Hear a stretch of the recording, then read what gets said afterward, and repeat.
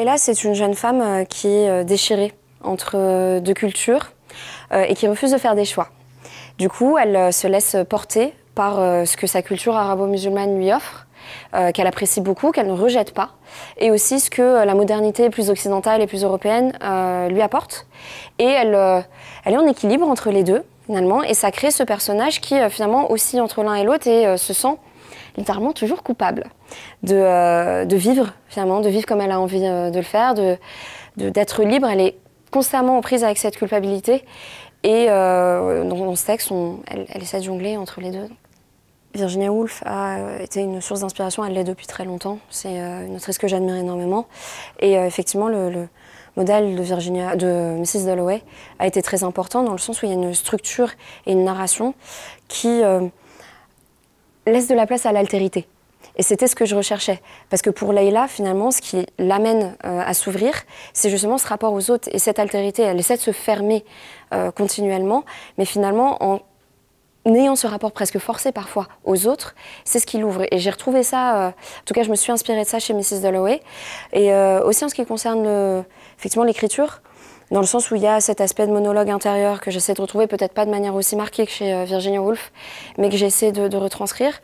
Et puis au niveau poétique, alors j'ai peut-être d'autres influences aussi. je pense plutôt à des auteurs américains euh, pour le coup. Et puis un rapport à la musique assez fort, sachant que ce texte a commencé comme un texte poétique, euh, un long poème en prose. C'est quelque chose qui est resté et qui pour moi était très important. J'avais besoin qu'on ressente la musicalité du texte. Dans le cas de Laïla, il y a une quête d'intensité ce qu'elle recherche euh, dans, ce, livre, ce que j'ai voulu mettre en avant euh, à travers elle, c'est cette quête d'intensité constante. Et donc cette intensité, elle la retrouve effectivement euh, dans la sexualité, mais c'est une sexualité qu'elle vit à la fois bien parce qu'elle lui apporte beaucoup de plaisir, mais en même temps qui la ramène à la fois à cette culpabilité, sait pas tout à fait comment la gérer. bon, l'alcool, les drogues, les sorties, tout ça, c'est une quête finalement constante d'intensité de quelque chose qui va l'amener à vivre plus, encore que, que, ce qu'elle fait. Euh, et ça ne lui suffit jamais réellement, finalement. Il y a peut-être la musique euh, qui apparaît souvent dans le texte, qui lui apporte ça, mais elle ne s'en rend pas complètement compte. Il y a d'autres éléments aussi qui, qui, euh, apparaissent, mais c'est vraiment elle est poussée par le fait de ressentir. C'est quelqu'un qui, qui, a un besoin charnel de sensations extrêmement fortes, et elle ne trouve pas quelque chose qui qui, la porte suffisamment. Donc c'est aussi cette quête-là que j'ai voulu marquer, alors à travers une journée, mais finalement on s'aperçoit que c'est quelque chose qu'elle recherche tout au long de sa vie.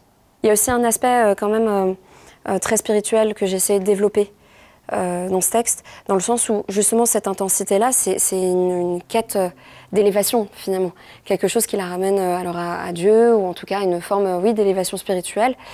Et là aussi, ça se joue sur, en tout cas j'ai voulu jouer sur un aspect assez inconscient de tout ça. C'est-à-dire qu'elle est en quête de ça, mais elle ne se rend pas compte qu'elle a la solution, qui est peut-être de revenir vers quelque chose de plus simple, mais qui finalement est plus intense.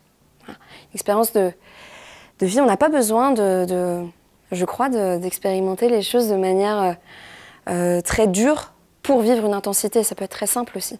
Et c'est ce dont elle finit par se rendre compte euh, à la fin du texte.